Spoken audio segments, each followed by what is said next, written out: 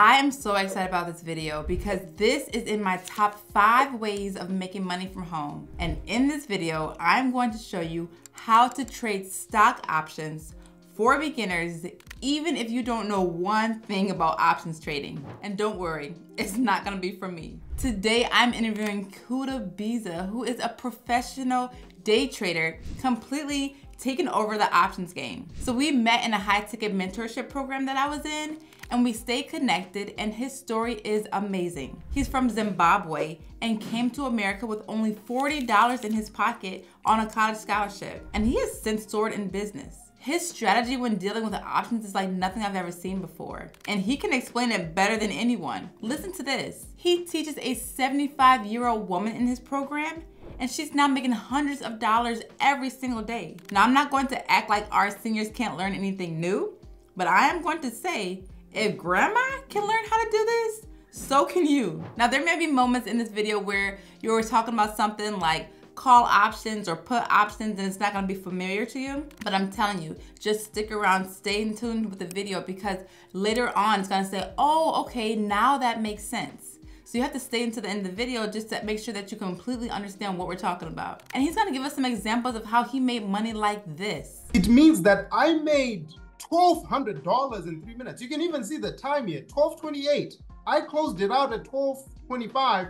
Three minutes later, I took the screenshot. So I made $1,200 in three minutes. Now, isn't that something worth learning how to do? Kuda makes well over a $1,000 a day in options trading. So I brought him on to teach us newbies how it's done. So let's get right into how options trading works for beginners. Let's go. One of the things that I hear all the time is about like stocks. I know about stocks a little bit anyway, but I also hear about options. And one thing I know that I've always heard that I'm just not going to touch options because it's just too risky and you don't want to deal with that. So can you just kind of give us an example of what are what's the difference between stocks and options? So before I answer the difference between stocks and options, like getting into any trade has an element of risk. But, but, but, but, I define risk as running into situations knowledgeless. So if you start trading and you don't have any insight as to what you're looking for, especially if you're trading options, that's when you get into really big trouble because options are very volatile. You can lose a lot of money very quickly. But if you know what you're doing, right, you're going into it with knowledge, you can make a lot of money in a very short period of time. Now, back to your initial question what is the difference between a stock and an option? So let's start with stocks. Stock basically is uh, an ownership uh, within a company. So if you buy one share of Tesla, essentially, Whitney, you are now an owner of Tesla, the company, right? With your one share. Now, the cool thing about shares is that they don't expire, right? And you're gonna see the difference with options in a minute. Um, so as long as the company is liquid, as long as the company is in business, essentially, and you have one share or however many shares you have of the company, you own the company. What it also means is that if a company is giving out dividend, you also get to participate in the dividend. Uh, and also, more importantly, you know, you can vote, right? Depending on how many shares you have, or even if it's just one share, you could vote and, you know, your, your vote would be counted. And on the other side of things, let's talk about options. Options, it's uh, it's simply a contract that gives you the right, but not the obligation to exercise whatever the contract is. So I'm gonna I'm gonna kind of like break it down in a minute. There are a couple of elements that go into an options contract. Number one is there's always an expiration date. Remember, I said that a stock doesn't expire, right? You own it mm-hmm. essentially for perpetuity as long as the company is, you know, running and it's still publicly traded, right? When you buy an options contract, they always have an expiration date. Usually, um, they expire every week. So every Friday, there are different contracts that expire. So depending on the contract you buy, it'll then expire on that date. And when you're buying options contract, you also buy a certain strike price. So I'll give you an example. Right now, Tesla is trading at $257, right? And if you go into the options chain, you can find different strike prices for Tesla that you can then buy these options contract for. So depending on the strike price you want, you can then purchase that options contract and then you know you can hold it for however long you want but at expiration you now have a decision to make. If you hold it all the way to expiration it's either you now exercise your right to buy or sell or you just sell the contract as is. If you exercise your right to buy an options contract it then now means that you now have to purchase the shares at whatever strike price that is. Now the other key difference between uh, options and stock is that one options contract controls 100 shares. I want to repeat that again.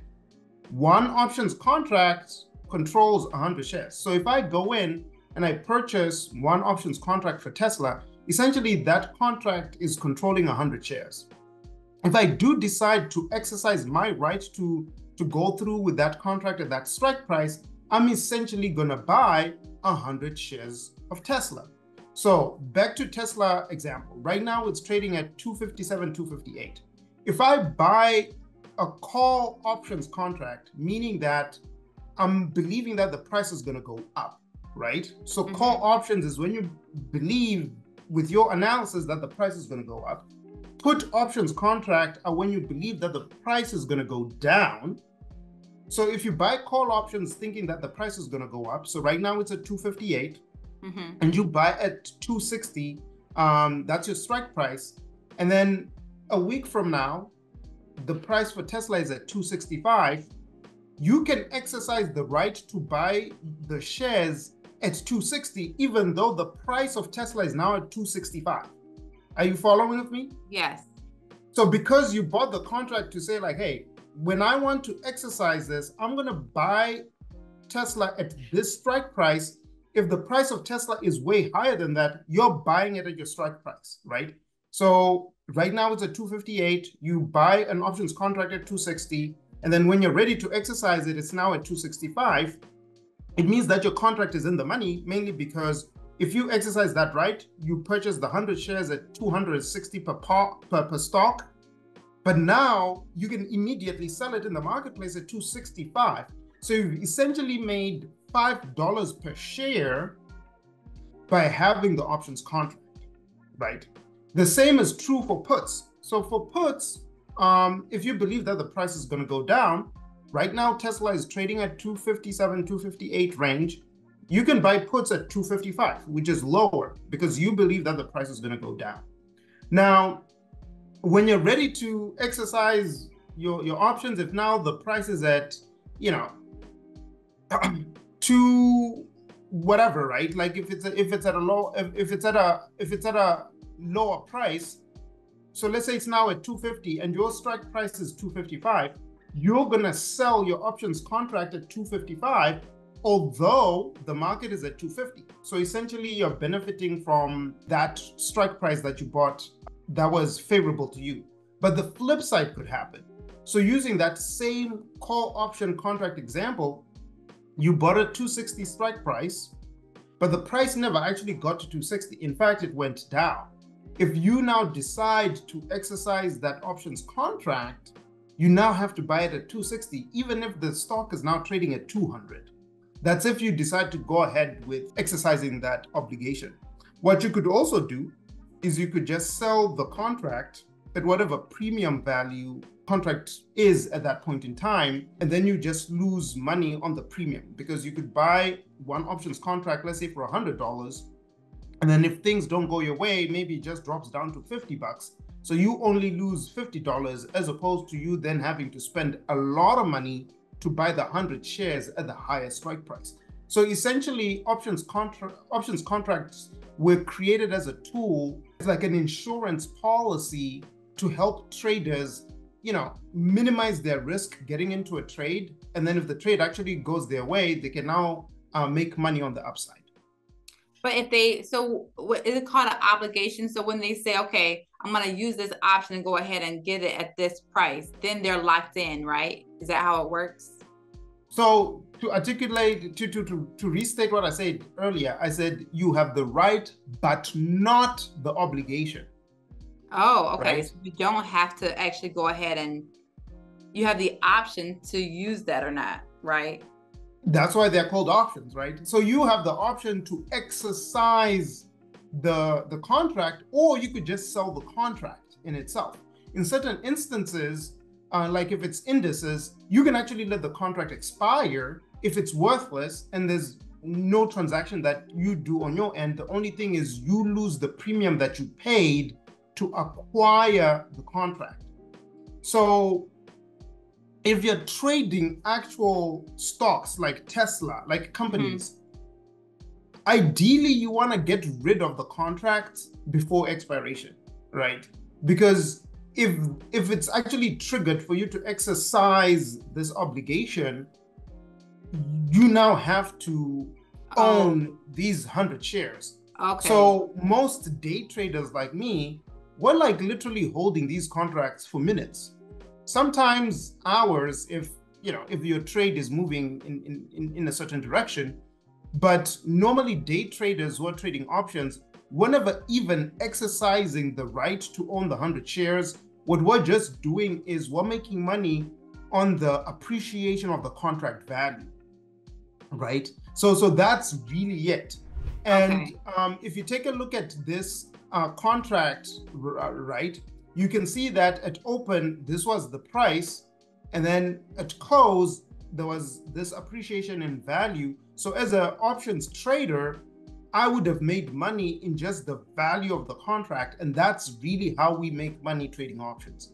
Oh, so that's like the secret sauce of how it all works.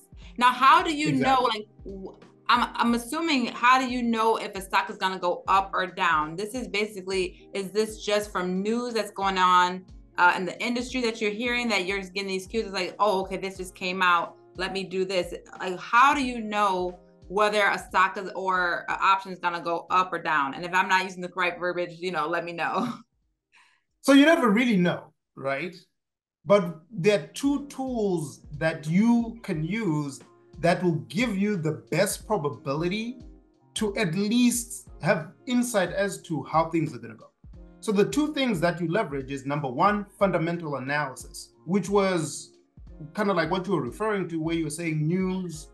Um, you look into the track record of the company, you know, earnings and things like that. So you, know, normally as a trader, what you want to do is you want to do your own fundamental analysis, really understand you know what what is driving this company um, you you you read their earnings reports you you read the news and you just really understand from a fundamental perspective do you think that there's an opportunity for this company to grow? Or you know this company is most likely not going to grow. So i'm going to use nvidia as an example. Ai right now is booming and nvidia is at the center of it.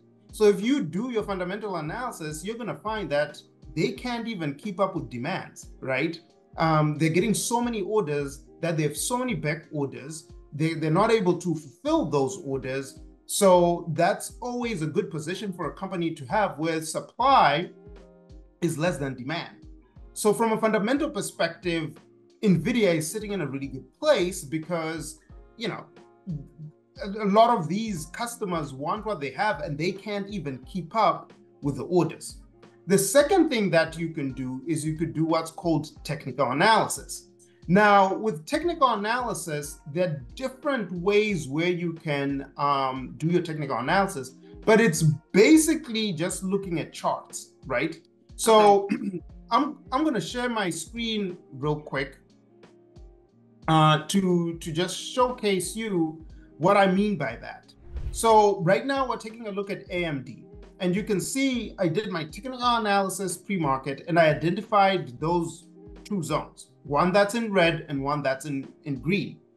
And basically my analysis had told me that as soon as price action entered that green zone, there's a high probability that the price is going to go up based on historical performance because that's what technical analysis really is you are basically leveraging, you know, history to then guide you as to what's going to happen in the future because traders um, have certain patterns, right?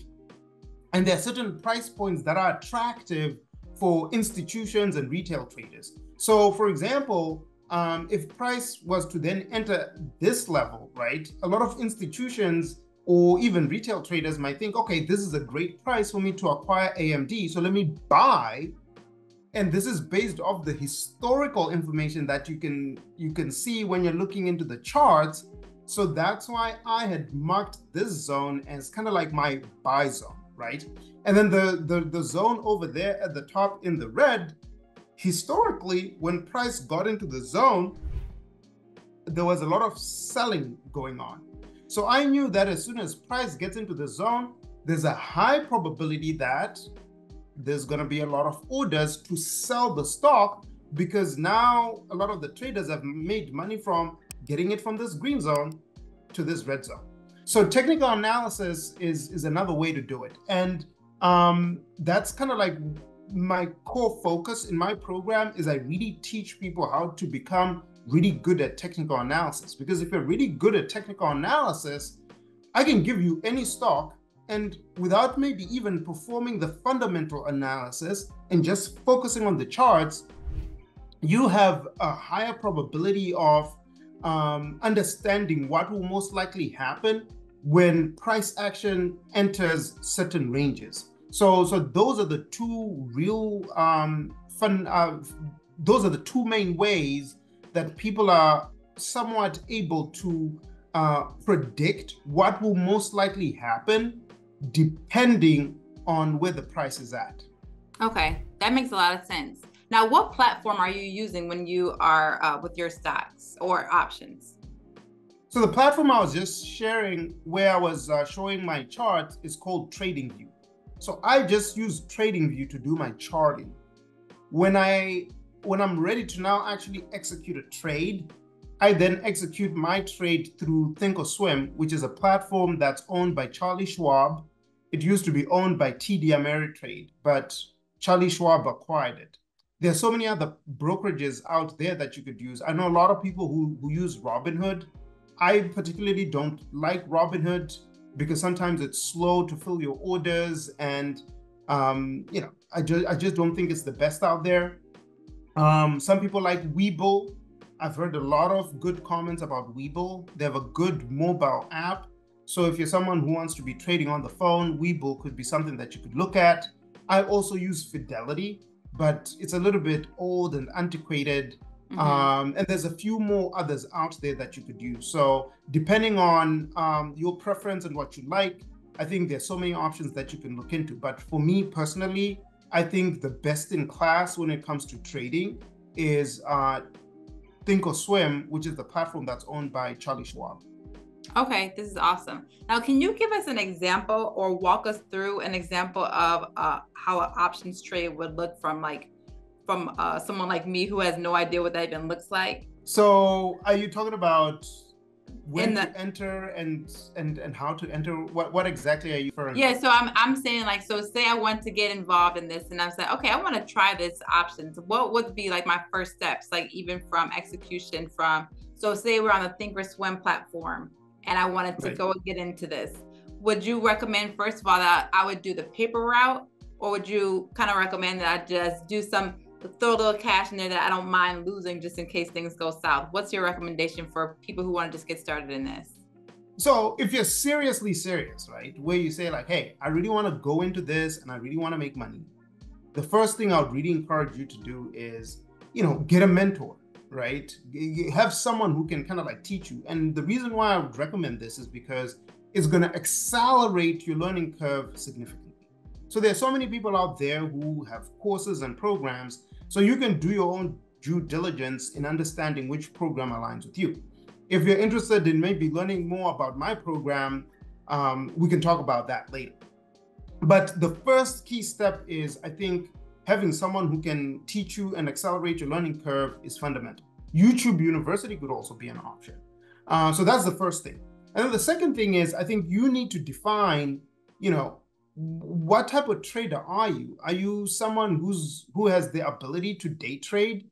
So if if you know if your work schedule is flexible enough to to actually trade during the day, then you know potentially day trading could could be good for you. But if you have a nine to five, um, that maybe doesn't really give you the time and flexibility for you to enter the market during the, the time that the market is open. And the market is open, New York Stock Exchange is open 9:30 a.m. Uh, to 4 p.m. So if you're working during those hours, then maybe day trading might not be ideal for you.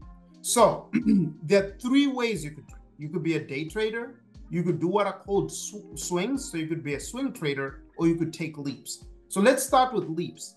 Leaps is you basically entering a trade with like a very, very long term perspective, meaning that you're probably holding on to the trade for months and in some cases, even for a year, right? You can buy options contract that expire in 2026. Oh, wow.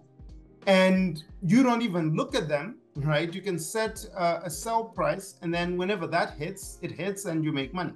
There are people that I know that do that. They they literally are buying contracts with more than 90 days expiration. So right now they're looking at things in September and October, and they literally just set it and forget it. So if they buy the contract, let's say at thousand dollars, they just set an automatic sell order when the contract gets to you know two thousand dollars, and they also set a stop loss to say like, hey, if I lose two hundred bucks, kick me out.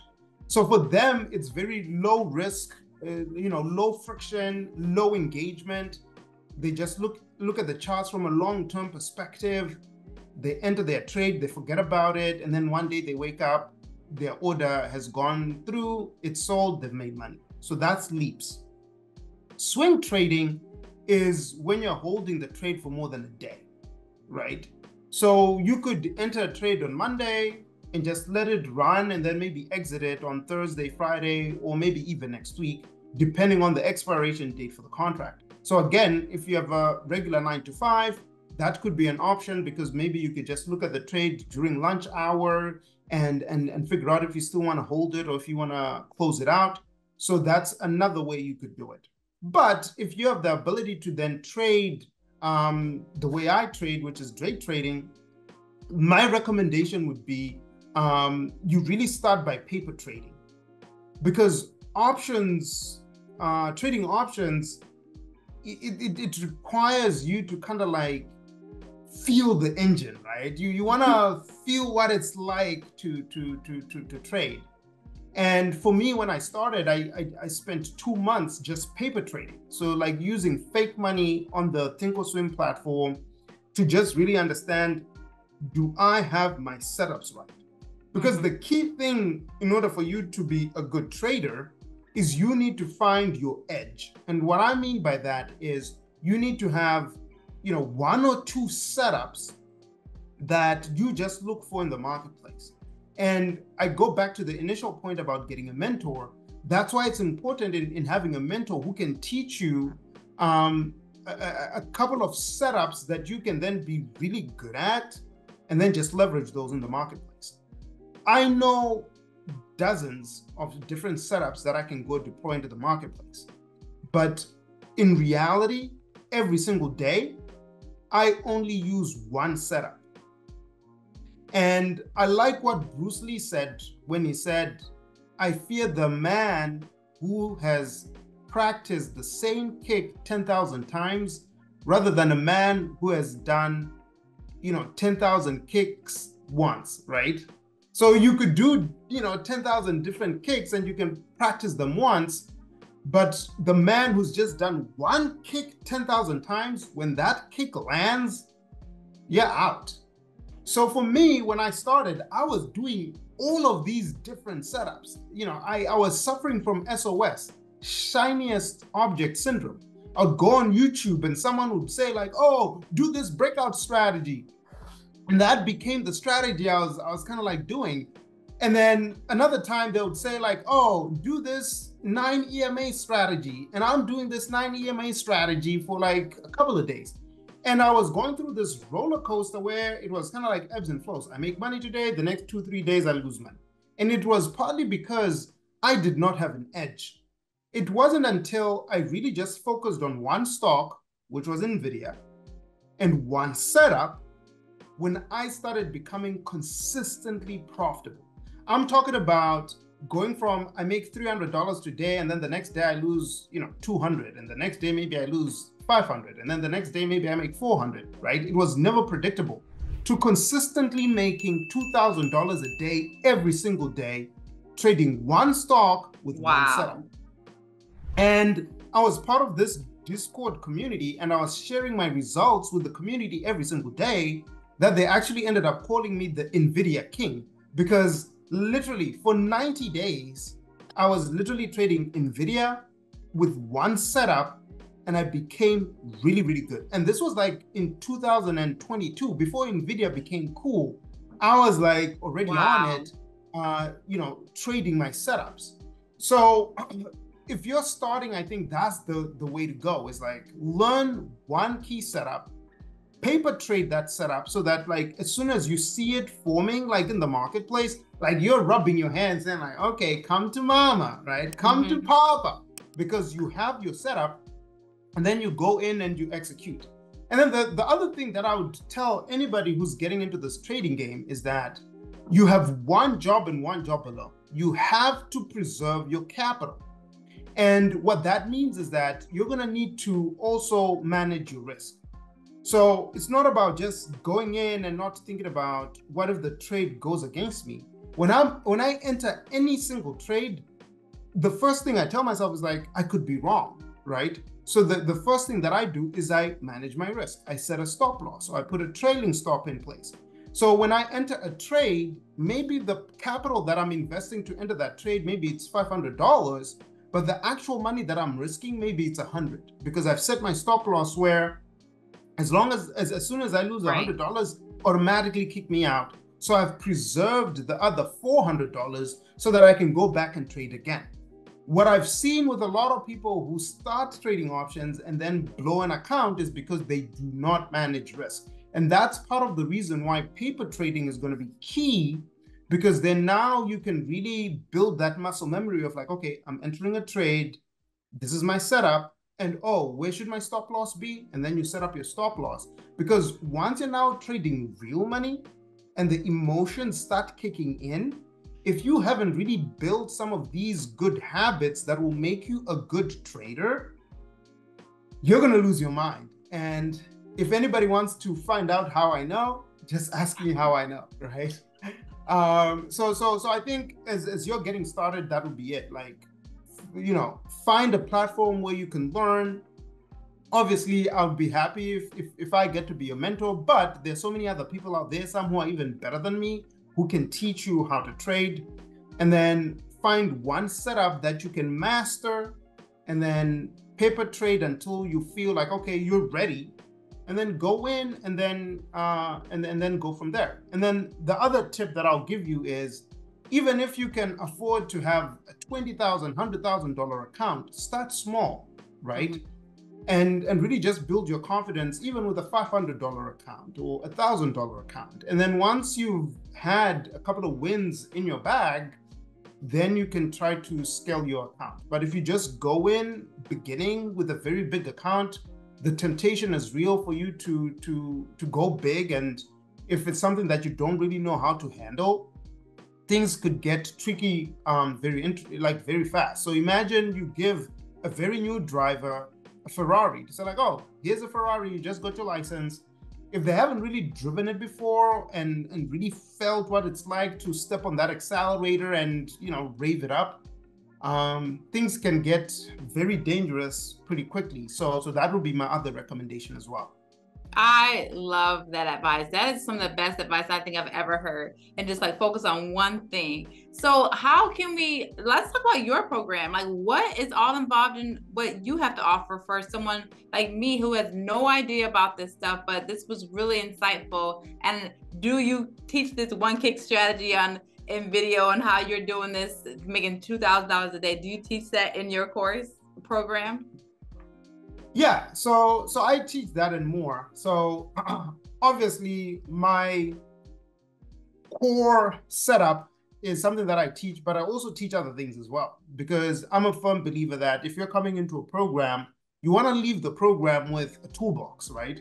Because sometimes the market presents scenarios that my like core setup won't really work, but another setup works. Mm-hmm. So the mm-hmm. more you know, the better you are equipped into the marketplace. But also I understand that people are different. So some people might be better with uh, another strategy because of their risk profile and just who they are than the one that I use. So in, in my program, we, we kind of like do it in, in two steps. Okay. So we, we, we, we have the side where we really just focus on the theory side, where you really just learn about what options trading is, the stock market, and things like that. And then we get into the technical analysis. Obviously, most of the time is spent in the technical analysis and um, it's a eight week program and during those eight weeks by the time you're done um, you'd be ready to take your first trade and uh, hopefully start making money um, as, as you're trading. And for me what's been very fulfilling is really seeing how people's lives have changed. Um, i'll give you a couple of examples. So yeah. Um, there's a friend of mine uh, who's a nurse and she lost her job. And she was like hey kuda i don't know what to do. My contract wasn't renewed and i've been applying to jobs and things haven't been just like going for me. And i'm like well do you want to learn how to trade? So she joined the program. And um, before the program even ended she was making like $200 a day. And for her it was wow. kind of like life changing because you know she was trading maybe an hour a day. And if you're making like a thousand dollars a week and you're making four thousand dollars a month just off of an hour's time of effort, it could literally be time like life changing, right? And um, what even got interesting with her story is that she actually ended up passing two evaluations for a funded account. So what a funded account is is that these prop firms where you take an evaluation because they want to see if you're a good trader and then if you pass the evaluation, they actually give you tens of thousands and sometimes hundreds of thousands of dollars for you to trade. So you're basically trading their money. Oh. And you're you're able to then keep 90% of the profits and they take 10%. So she passed two $50,000 accounts that she's now able to trade. So now all of a sudden she went from not having a job to learning how to trade to now having a hundred thousand dollars in capital from someone else because she was able to use what she learned in my program to pass this eval and now with this funded account you know if she makes a thousand dollars two thousand dollars a day she can essentially now create an income that could be very very attractive um, there, there are a few more stories that you know I could share, and most of them are on my landing page. But the cool thing about the program is that even if you have a nine to five, or even if you're not um, working, I think trading as a skill is something that everybody should do. That's just my firm belief, because it enables you to multiply money. Now, yeah. I'm gonna use a biblical reference all right. Uh, just to claim of this. But in the Bible, there's a parable of a master who left talents to his three servants. The first servant, he gave five talents. The second one, he gave two talents. And then the third one, he gave one. If you read the New Living Translation, which is the one that I read, it says that the first one who got five talents went and invested the five talents. The one who got two went to work. And then the third one dug it into the ground. Mm-hmm. And when the master came back from his trip, the one who had the five talents multiplied it and had five more, so it was now 10. The one who had two put the two to work and had four, and the one who dug it into the ground, it was just still there, it was one. So a lot of people go to work, they make money from the work, which is the one talent you get, and maybe you put it in a savings account and you don't really do anything with it, and then it's just there. you're actually losing money because with inflation, the buying Right. power, the purchasing power of that hundred dollars that you put in your in, in your savings account, a year from now, it won't be able to afford the same stuff. If you're going to work, you're literally just trading your time for money. And we all know that time is limited. I have 24 hours in a day. Whitney, how many hours do you have in a day? 24. 24. So it's limited, right? No matter what you can do, you're not going to get an extra hour, right? So the only way you can actually change your life is by being able to figure out a way to have your money work for you, which is the investment piece. So you work your 95, you have a thousand dollars that you want to put in your savings account. Maybe don't put it in a savings account. Maybe learn how to trade. And then with the profits you make from the trading, maybe that's what you put into your savings account and just keep recycling the um the thousand dollars uh that you have. Right. Um do you have, can I share my screen? Am I able to share my screen? yes. Okay. There we go. So here I'm sharing with you a trade that I took, right? Um, so I traded SPX, is the S&P 500. Okay. I bought three contracts that were puts because I thought that it was gonna drop, right? You buy puts if you know that the price is gonna go down. I entered that particular trade at 1222.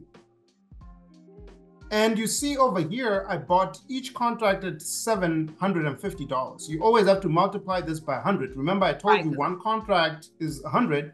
So $750 per contract, I bought three. What's the difference in time, Whitney, Wow. between Three minutes. when I sold and when I bought? Three minutes. Three minutes later, it went from $750 per contract to $1,150 per contract. That's insane. It means that I made $1,200 in three minutes. You can even see the time here, 1228. I closed it out at 1225. Three minutes later, I took the screenshot. So I made $1,200 in three minutes. Now, this is where it becomes interesting and where it ties into the parable. It is the law of multiplication. Those three contracts that I had, I invested 2200, right? I know everybody might not be able to take these types of trade, but it's the principle that I want you to, to leave with. Three minutes later, I had multiplied this 2,200 to $3,400. And I had made the $1,200, meaning that I had made 53% return on my money in three minutes. When I started working like full time after I graduated college, I was making 20 bucks an hour.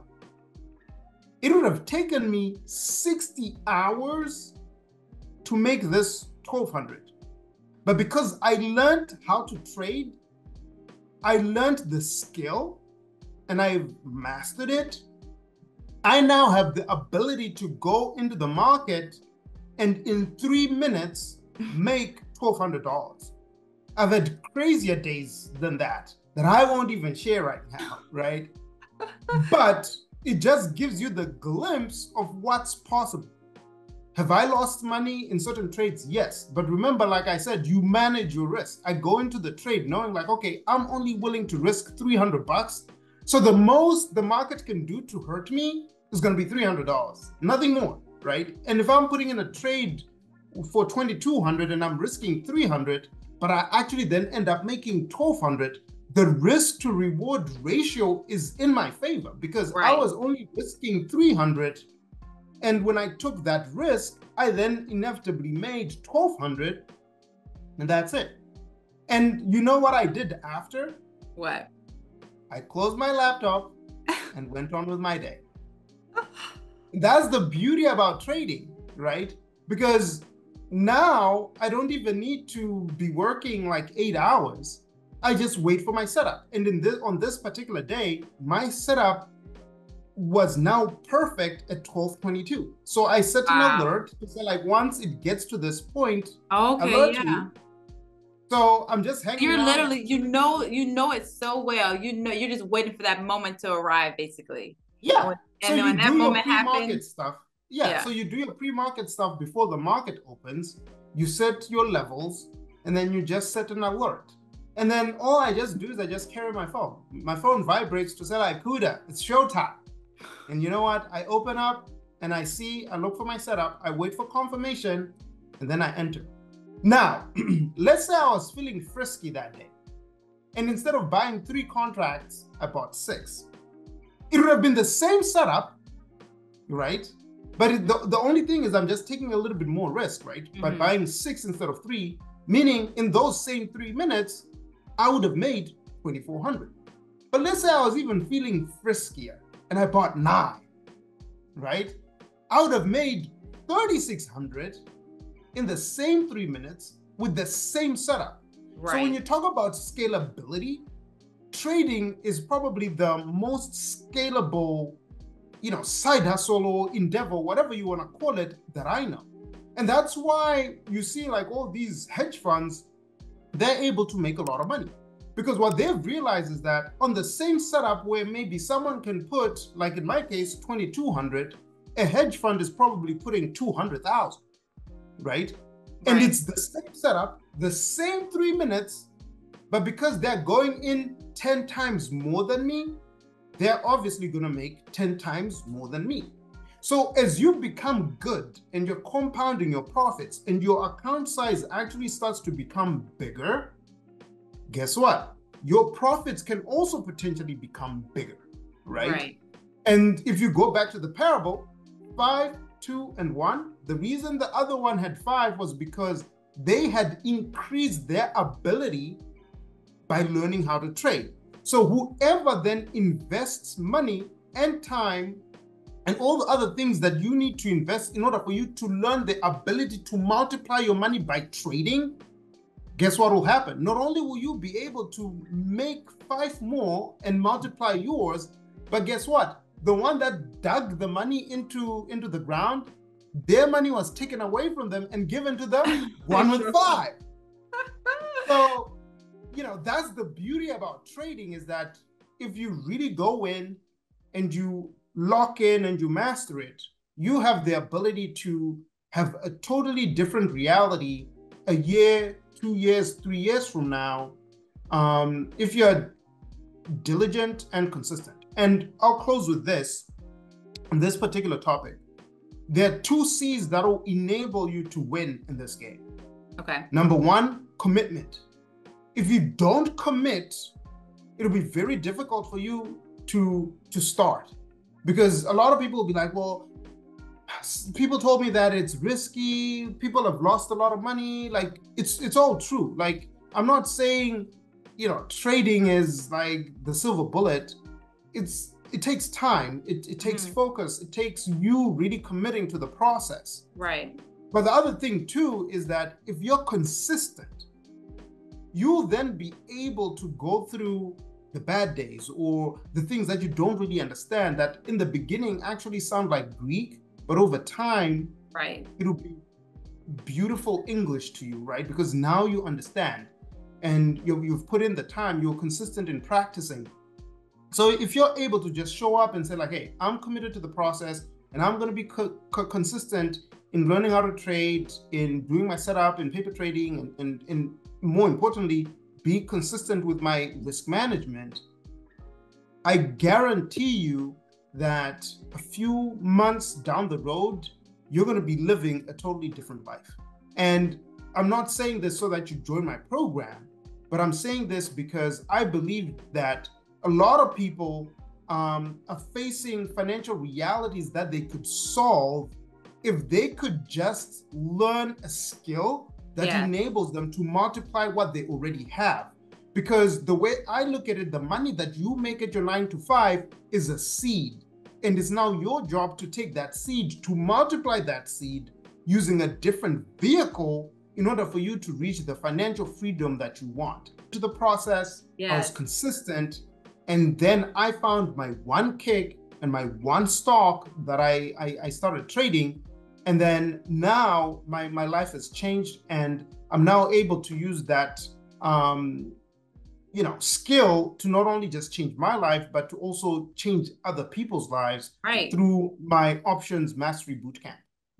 I love this. I'm gonna just end it right there. I, there's not much to say. This was amazing, and I honestly think like you have opened my eyes so much in this, and I'm just like I have so much in my plate with what I'm doing right now, but I'm like this just to me makes so much sense to be doing. You know, multiplying what I already have, and in the way. And I love how you said it you know, you're not just telling me just go to Thinkorswim and try it out. No, you gave the best advice. I need a mentor. I can't just go on this blindly and think I'm gonna just try and do it on my own. I need someone to help me who has done the work, made the mistakes already that I could learn from. So I think that's just great advice, not to just say, yeah, just go create an account and get out there. No, learn first before you just put yourself out there and you need some a roadmap. So why go through it blindly if you don't have to?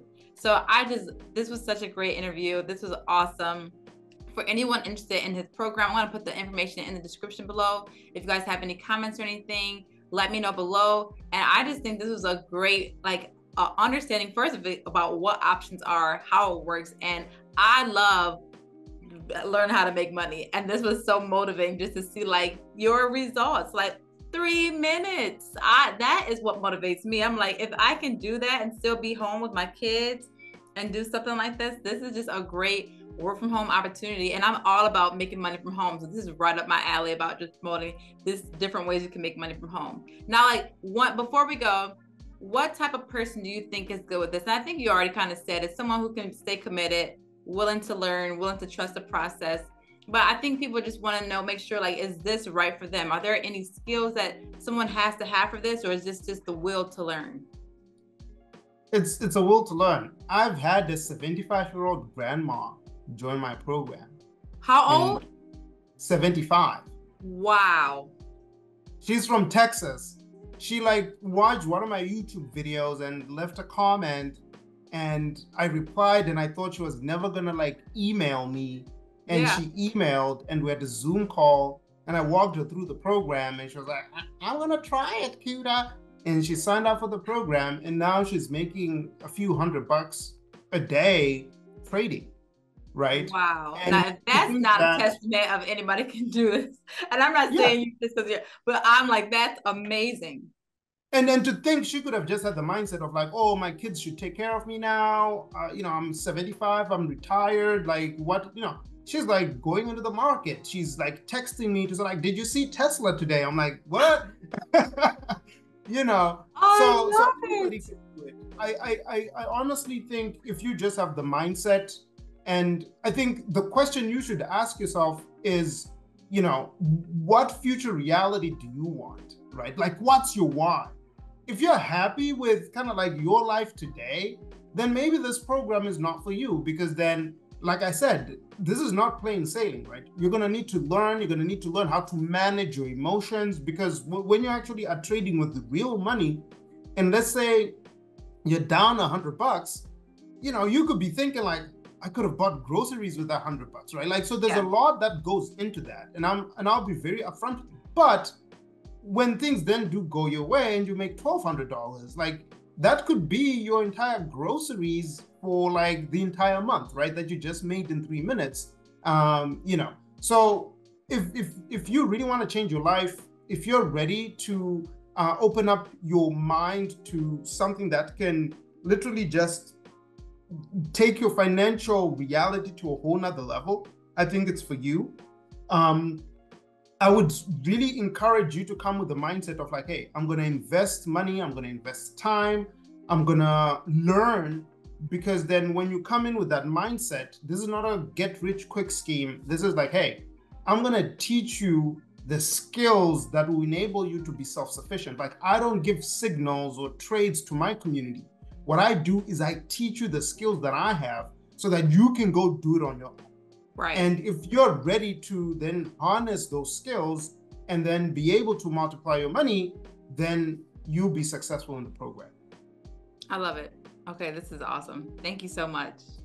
As always, guys, thanks for watching. Leave a comment below and subscribe for more. And definitely check out his YouTube videos too because he's awesome.